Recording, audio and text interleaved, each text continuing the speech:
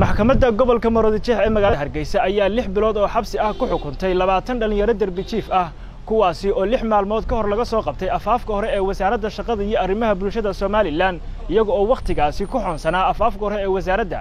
Hase ahaatee maxkamaddu waxay sheegtay in dhallinyaradani lagu soo eedeeyey inay isticmaalayeen maandooriyaha alkoholka ama xabagta loo yaqaano dacwadda dhallinyaradan labaatanka ah oo socotay muddo laba maalmood ah ayaa waxaa la xukumay isla maalintii labaad ee dhegaysiga dacwaddooda iyadoo aanay jirin wax qareenno ah oo difaacayey yaxye xuseen yuusuf oo ah garsoorihii gacanta ku hayay kiiska dhallinyaradan darbajiifka ah ayaa goobjoog uga warramay qaabka uu dhacay xukunka dhallinyaradani. Maxkamaddu markay dhegaysatay eedeysanayaasha ee loo soo gudbiyey maragyadeedii iyo markii loo soo gudbiyey exhibirkii lagu hayey xamagta ay weyteen maxkamadda gobolka muradjeex waxay mid mid ugu akhriday eeddii loo haystay ee ahayd mukhaadaraadka iyo arbishaad xafiis. Waxaanay dhammaan eedeysanayaashaas ku caddaaday ee maxkamadda horteeda qiraal ay ka horbixiyeen inay xamagtaas ay cabbayeen kadib maxkamaddu waxay gashay inay baadho da'dooda.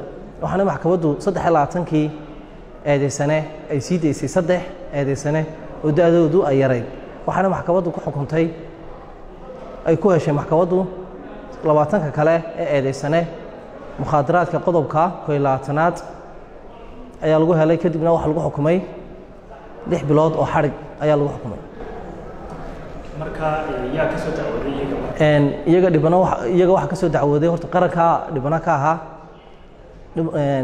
kale waxaa ma garanaysaa dhibano ka ahaa xafiiska wasaaradda shaqada iyo shaqaalaha laakiin waxa dhibano ka ahaa qaranka dhibano ka ah hase ahaatee dadka u dooda xuquuqda aadamaha ayaa arrintan walaac ka muujiyey iyaga oo ku tilmaamay in ay tahay arrin sharciga ka fog. Garyaqaan mubaarig cabdi ismaaciil oo ka tirsan xarunta xuquuqul insaanka madaxa bannaan ee somalilan ayaa sheegay in wakhtiga dhallinyaradan la xidhay ay ahaayeen kuwo cabasho la hortegay wasaaradda shaqada iyo arrimaha bulshada somalilan caruurtaasi way cawdeen waxay u cawdeen dowladdooda. Iyaguna waa muwaadiniin. Marka qof dowladdiisii aqoonsan oo kuuligan kuwa aqoonsanaya dowladnimadeedii adigan kuwa cabanaya ay cabashada wax iga qabo oo xilligii dhaxmaal lagu jiraa bustayaal weli waxay cabanayeen waxay ahayn bustayaal bay ahayn bustayaal ay huwadaan ayay u cabanayeen. Marka bustayaashii huwanayay u cabanayeen bay wasaaraddii. Ay tiri waxay waxa rabshad bay sameeyeen hal xidhxidho marka ismaan lahayn runtii dee arrintan oo kale somaliland way ka dhacdaa laakiin waxa weeye ceeb weyn weeye runtii. Marka dowladda waxaan ka codsanaa carruurta xeradooda degdeg loogu celiyo laba sababoodba kow carruurtaas iyagoo u baahan maanta daryeel uma baahnaa xukumid umana baahnaa xabsi ku hayn.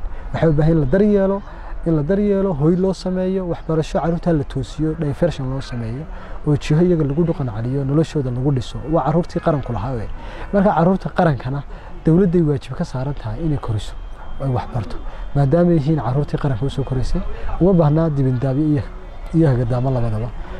Talabaadna waxa weeye somaliland ma laha xabsiya carruurta u gaara iyo mid dumarka u gaara labadaba.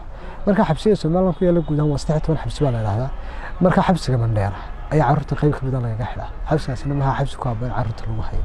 Marka iyadoon xabsina jirin dhibaatadii lagala cararayey marka hore xabsi kuxayntuna waa dhaqan calid baa la yidhahdaa siduu dastuurku qabo laakiin way ka duwan tahay marka la eegayo caadi ahaan marka laga ka duwan tahay. Dhaqan calid maaha carruurtii wixii hore wax ka badan iyagoo qaba. Ay ay runtii ka soo noqdaan. Arrinta kale iyadana muhiimka in la fahmo waxay carruurta dembi may gelin carruurtan fal ay galeen oo sharci darraa ay ku gafeen oo maanta loo xukumay de ma jirto. Carruurtan way cawdeen waxay dhahen waxaan rabnaa waxayna la siiyo.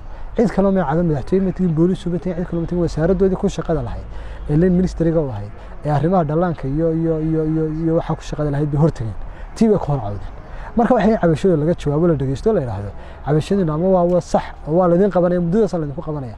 Ama haddii cabashadooda la yidhaahdo waxba kama jiraanna de meesha lagu kala tago laakiin sabab loo xidho oo xabsi loo geeyo oo maanta loo xukumo maxkamad loo horkeeno runtii meesha may jirin. Khaalid foodhaadhi goobjoog hargeysa